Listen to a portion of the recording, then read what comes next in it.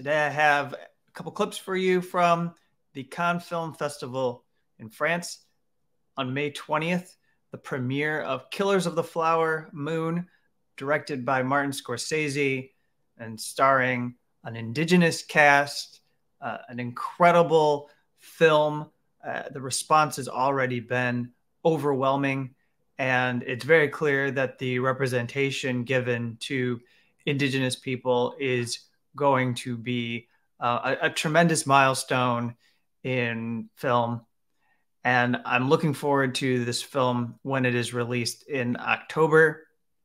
But for now, we have the press conference that Martin Scorsese, Robert De Niro, Leonardo DiCaprio, most importantly, Lily Gladstone, who plays the main character of Mollie Burkhart in Killers of the Flower Moon, and then Chief Standing Bear from the Osage Nation. This movie tells the story of the Osage murders that occurred in Oklahoma, a kind of history that people really need to know. And so let's tune in here to what Chief Standing Bear had to say about what this film meant for his people and why he welcomed Martin Scorsese and people from Hollywood into his tribe to produce and create this film. I want to go back a little bit. Oh, yes, I will. Okay. To when um, Imperative purchased, uh, I understand, that purchased the rights to the book by David Grann. And we were talking to some of your representatives and expressing our concern that we did not want to uh, uh, lose our voice in the story. And uh, eventually, uh, when your team, mem- some of your team members came and uh, participated in uh, some prayer services that we had and dinner, uh, I remember some imperative standing up and saying, uh, "We will make a movie the Osage will be proud of," and then also that sticks with us is the statement uh, we're going to tell this story through the eyes of Molly. From that moment on, we thought, well, this is a different group. And as we developed over the years, remember we had uh, the pandemic in between, and, and the, everybody had to pull back and then re-engage. Uh, we just picked right up with our language and culture, uh, people uh, that, that Mr. Uh, Scorsese said, First of all, we're going to film here. We're going to film with the Osage. We're going to invite Osage to come in, not only on uh, extras, but there are there are young Osage working behind the cameras uh, in cinematography with world class people and in costume. Our people are uh, were in, employed in making the costumes and and, and, and the song and, and so forth. And so that's remarkable. Normally, you don't see these productions welcome indigenous people when their stories are the subject of films. You don't see them brought in and made a part of the production so that they actually derive some direct benefit through the creation of this project so that they get to share in the vision of of what is being brought together by all of these people, these stars, uh, renowned filmmaker, and the very experienced production crew that is going to be assembled on any Scorsese production. And then it's important that people know that this book by David Grann was going to be just a FBI procedural drama, kind of true crime story.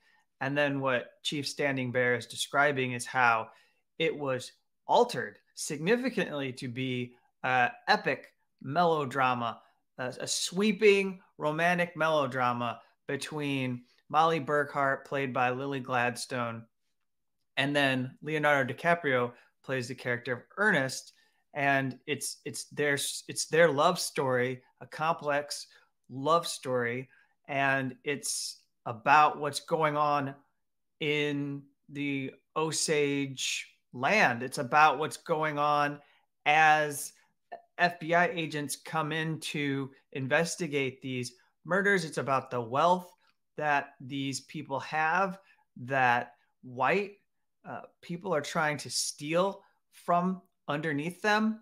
And it's about the complex issues and the issues of racism and oppression that are intrinsic to this history of indigenous people. And then when you see the movie, uh, you see our language, which is endangered, but you see our language spoken here. Uh, and you can probably um, talk better Osage than some of our Osage, right? You know, I was sitting next to Mr. De Niro last night, and uh, I I got very excited uh, about some of his Osage, but I, I remember talking to Vann Bighorse, our language uh, coordinator, he's with world class people and in costume. Our people are uh, were in, employed in making the costumes and and and, and the song and, and so forth. And then when you see the movie, uh, you see our language, which is endangered, but you see our language spoken here. Uh, and you can probably um, talk a, a, better Osage than some of our Osage, right? You know, I was sitting next to Mr. De Niro last night, and uh, I I got very excited uh, about some of his Osage, but I, I remember talking to Vann Bighorse, our language uh, coordinator. He's more than a coordinator. He's the Secretary of Language, Education, and Culture. Talking to Vann and talking to my senior advisor, uh, John Williams, uh, who unfortunately passed away and made, made friendships between us all, about how it is being done there on the set. And they impressed upon me how hard these actors worked, how hard they worked, how serious uh, th this business is to them. And for a citizen outside of this world, uh, we get our own conceptions, preconceptions about what is involved, and maybe think it, oh, well, Bob De Niro just wakes up and naturally it's everything comes right out. but my my team and my people expressed to me these are very hardworking people and they had on in in their minds and with them physically my people working with them men and women young and old working with them and they responded and it, it's just beautiful. They, they, they could make two of these movies. So that's Chief Standing Bear describing the relationship that was formed between producers and filmmakers who were involved in this project and brought it to the Osage people and wanted their support, their buy in, their consent, their permission to tell this story and their involvement in this story because they recognized that they could not tell it without representing their perspectives, without making what they do central to the production. So here is Lily Gladstone speaking at the press conference about this production. These these artistic souls on the stage here cared about telling a story that pierces the veil of what society tells us we're supposed to care about and not. Um, by focusing on these conflicted characters, I really.